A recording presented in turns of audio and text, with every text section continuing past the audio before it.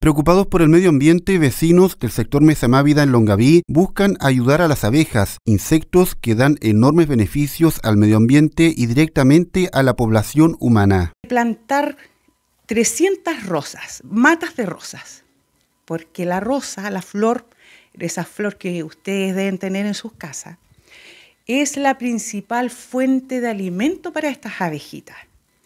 El polen más virginal se encuentra en esta, en esta flor, en la rosa. La actividad se desarrollará el próximo domingo en Longaví, pero se extiende la invitación a personas de otros sectores para colaborar de la misma manera.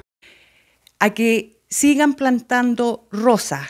Ya estamos en tiempos de poda, creo que ya estamos por terminar. A principios de mayo se termina la poda de la rosa a que planten más rosas en sus casas, en los campos, en los huertos. Cuidar al medio ambiente es un deber de todos, por lo que actividades como estas no pueden pasar inadvertidas. Germany Hogar, grandes descuentos que hay que aprovechar para renovar lo que necesites. En Germany Hogar, calidad siempre.